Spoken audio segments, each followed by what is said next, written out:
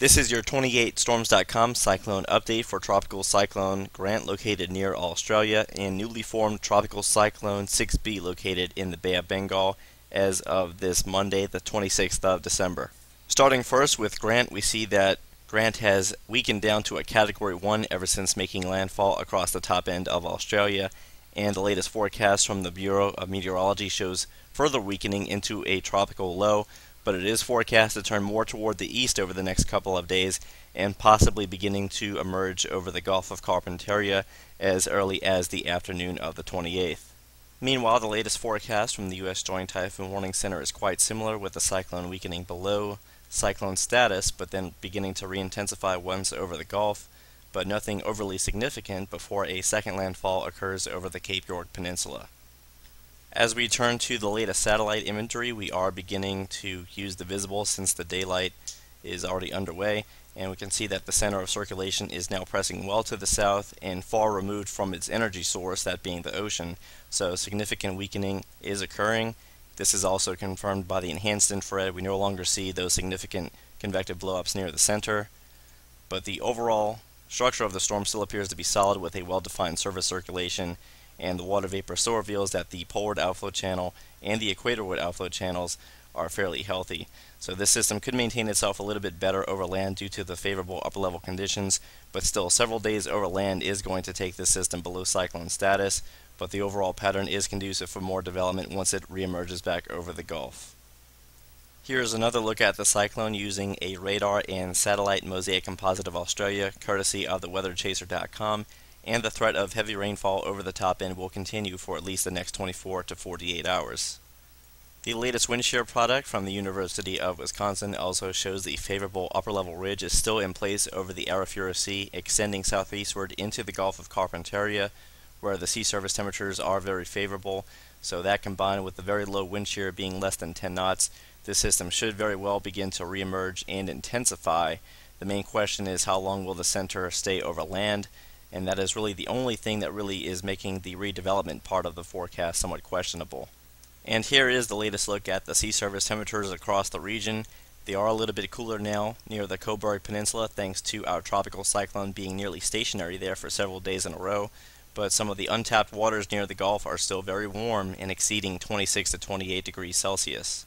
The following is the latest forecast from the GFS model, and this particular model still shows our cyclone hovering about the Northern Territory for the next 24 to 48 hours, but as we work our way into 12Z on Wednesday, that is when the cyclone is forecast to make a second landfall near the Cape York Peninsula, and then it will gradually weaken over the Coral Sea based on this solution.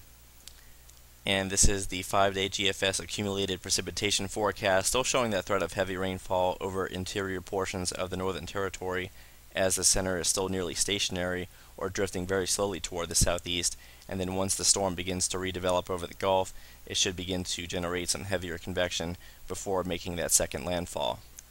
However, as has been the case throughout the life of Tropical Cyclone Grant, there are some opposing scenarios, and the latest one is being brought forth to us by the latest 12Z run of the ECMWF model. The European is showing significant weakening while the storm is still over land, and as we go into day 4 and day 5, all we really have left is a broad area of low pressure remaining over the Gulf of Carpentaria.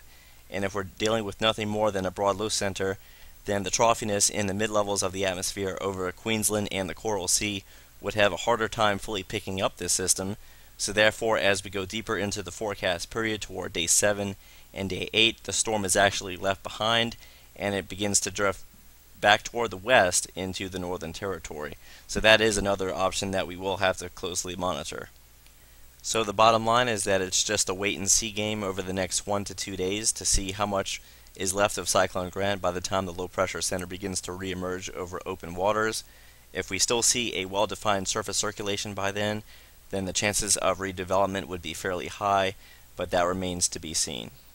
Meanwhile, we have been anticipating tropical cyclone development in the Bay of Bengal for the past several days, and the U.S. Joint Typhoon Warning Center is issuing advisories on this newly classified system they are forecasting a landfall in southeast India just to the south of Chennai.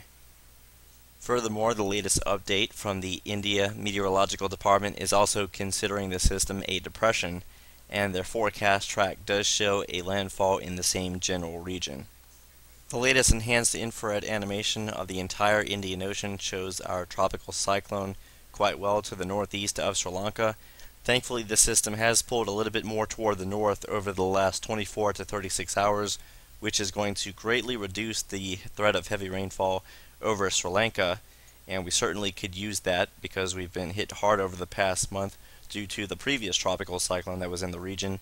And for India, it does look like the cyclone will be moving in your direction, but do notice based on the latest water vapor animation that we do have a lot of sinking dry air behind the trough that has moved in.